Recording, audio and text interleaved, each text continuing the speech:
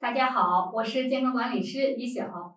流感中招之后呢，大多数人都会经历嗓子干痛嘶哑的一个阶段，咽口水都痛，说不出话，又吃不下饭，嗓子里啊就像刀割一样。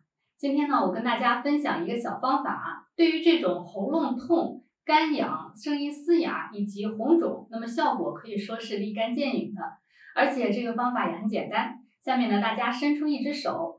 找到你的拇指指甲根部，在大拇指的指甲根部有三个点，距离我们指甲的边缘呢有一分的距离，大概也就是一毫米左右，就一点点的距离。在边上的这个呢叫做少商穴，中间的这个是中商穴，里边的这个呢叫老商穴。这三个点合起来称为三商穴。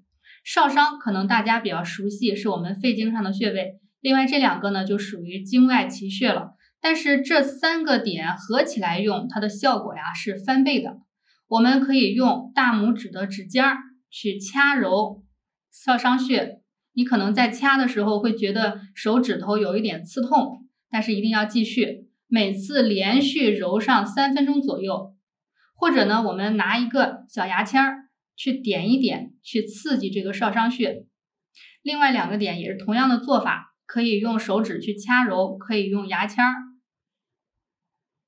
或者呢，我们拿一支棉棒去点按一下这三个点也是可以的。总之呢，大家手边有什么小工具可以刺激到这些穴位就是可以了。我们可以多次去重复做这个动作啊，每天两只手互相掐一下，不局限于时间，只要你有空，觉得嗓子不舒服、嗓子疼，就去互相掐一下。又简单又方便。如果嗓子疼的不厉害呢，我们就只用这一个少商就可以了。少商是大肠经的井穴，就是大肠经起始的地方。大力的刺激它，可以泄掉肺经的热，清理咽喉。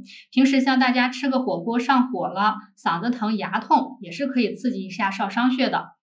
如果你的嗓子疼的比较厉害呢，我们就可以找一个血糖针，把这三商穴呢都刺破。然后挤出来几滴血，这样效果会更好。很多试过的朋友都说，这个缓解作用呢是立竿见影的。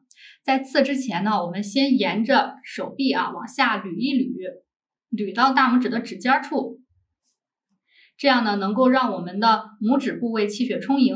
然后咱们快速的点刺这三个点，把皮肤刺破就行了，然后挤出来几滴血就可以了。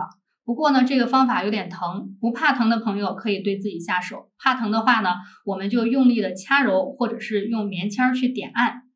因为三商穴这个位置皮肤其实很薄，所以好多人呢才揉几下就会揉出来一个水泡，这是非常正常的现象，不要紧张。那我自己平常嗓子痛的时候呢，都会掐一下少商穴，也是会经常出现水泡的。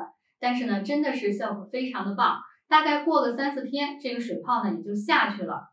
最近这段时间，本身天气非常干燥，咽喉部位就特别容易不舒服。咽喉部位的问题呢，很多都是跟肺和脾胃有关系的。大家一定要记住啊，少吃一点辛辣刺激的、容易上火的食物，保持我们肠道排泄通畅，不要让脾胃有积食而产生上火，这样也能最大限度的预防嗓子出现疼痛的问题。小妙招要收藏，以免想用的时候找不到了。好了，那本期的内容就到这里。如果你还想学习更多经络穴位的养生方法，欢迎订阅我的课程《家庭版十二经络疏通法》，教你认识身体的每一条经络，找到经络上的淤堵点，并且呢，在家就能徒手打通它们。感谢大家的支持，谢谢大家。